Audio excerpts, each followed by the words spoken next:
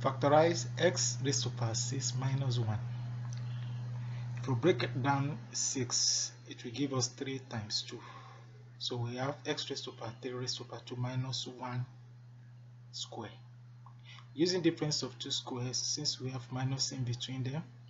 we have x raised to power 3 minus 1 and x raised to power 3 plus 1